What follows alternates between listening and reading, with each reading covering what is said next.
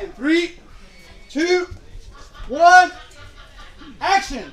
Niña, tanto tiempo, ¿qué estás haciendo? I've already done my scene. Um, it was a bit different. We didn't, we, we've never really acted in our music videos um, as much as we did today, so I think you guys are going to like it a lot. Um, there's a lot of other crazy stuff that, that's going to happen with the other guys. So yeah, we're super excited and, and excited to see how the video turns out. Y soltamos lo malo. Well, I feel super excited about this video. Um, this is the first time we do like a different stories in different places. Olvidamos y de cero empezamos.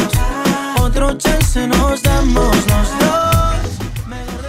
Well, I feel I feel great, man. I feel super happy about about this new video.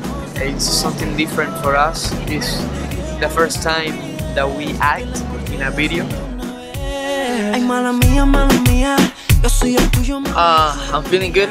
Uh, I was feeling so nervous because of the, the scene that we were doing about the kissing stuff. Like my scene, it was kind of in a tattoo space, so I kind of go already like a bunch of times. uh, so I kind of feel felt felt natural. Um, yeah, I, I felt natural. It was good.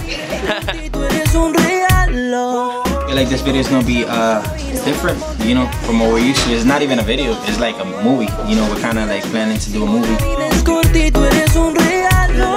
¿Qué tal si nos besamos suave y nos vamos? So acting for the first time, um, we've been waiting for this for a long time. So we told, told the director and management, you know, so that we, we kind of wanted this instead of always dancing and always the same thing.